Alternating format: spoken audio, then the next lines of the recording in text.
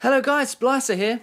Now I'm just going to take you through how to sniper, or how to snipe for you English professors that are out there. Anyway, I have brought out a video like this before. I'm just going to clarify a couple of points that I brought up in that video.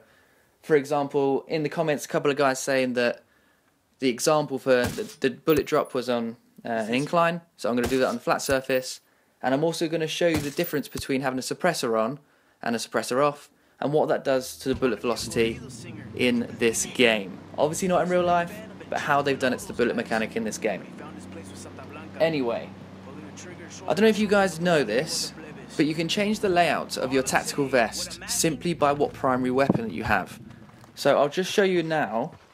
Um, if you change, it's not going to be anything sort of, it's only cosmetic, it's only going to look better. But if you change it to a sniper rifle as your primary weapon, it will then look like this. So you'll have 50 caliber rounds put into the front pouch of your, your body armor, um, and it will look different if you have an assault rifle or a submachine gun, or even a, sh a shotgun. They just, it's the same as a sniper one, however, it will just have shotgun shells to the side. Anyway, let's move on to it.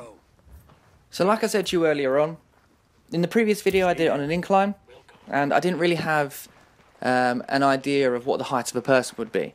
So this time I'm going to leave my squad next to the post.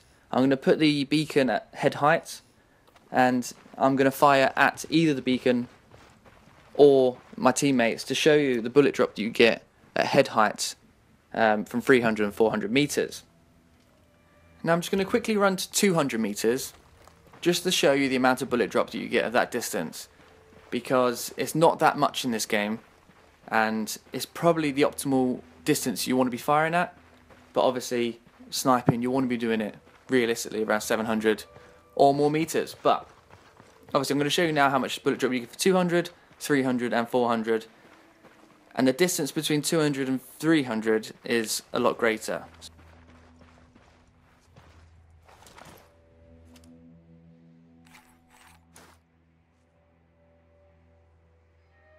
So you can see here, I'm just taking a few shots at my AI counterparts, and you can't really see the bullet drop because it's going through them, but if I fire at the post, you can see it dropping just below where I've put the beacon.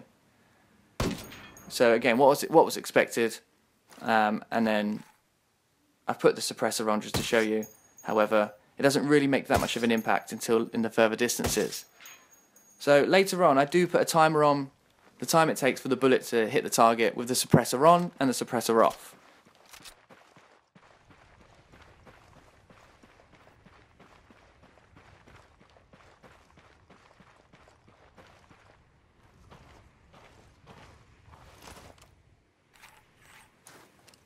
So looking at 300 meters then, when I fire at my AI counterparts, I'm aiming at head height again. The splash of the round is just behind their feet.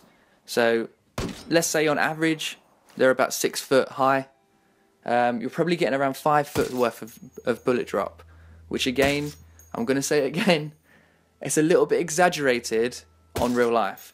So with a 7.62 round at 300 meters, you're not going to get five foot worth of drop.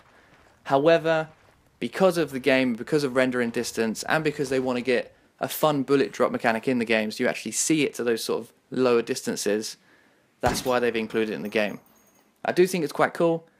And when you're making like a 700 meter shot in this game, you are pulling this, the scope quite high above the target for it to then dip and drop onto the target. Now one thing I do want to show you guys is the bullet velocity in this game with the suppressor on and the suppressor off. So I've put I've taken the shot with the suppressor on um, and I'll show you what time it is now. So it's 33 hundredth of a second. So now I've taken the suppressor off and taken the same shot again, and it's 17 hundredths of a second. So the mechanic they're running on this game is that if you put a suppressor on, the bullet velocity will be half that if you got the suppressor off. So you can see from my timings, they're roughly about half. I'm probably off for a few from a few milliseconds. Um, but it, it gives you the idea of how much the bullet is slowed down compared to when you've got the suppressor on to when you've got it off. I'm also going to take the shots from 400 meters just to show you the difference between 2 and 3. So you can see here when I'm taking the shots at 400 meters at head height, the round is dropping before the target. So you've got to compensate already at 400 meters to even get it, the bullet on target. But if you use this method as a rule of thumb, or do it yourself, find a target, or use something that's sort of head height, and then with your sniper rifle, take a shot, see whereabouts you need to aim up to then take that shot at that distance. The beauty of this game is it gives you markers, you can put it on there with your binoculars and put beacons on certain targets. So it gives you the exact distance you are from that target whilst firing that weapon.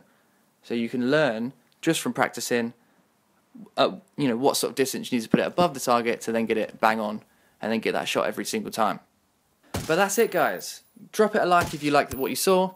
Please subscribe to my channel because I'm going to be bringing out more videos like this more often and I look forward to seeing what you have to say in the comments.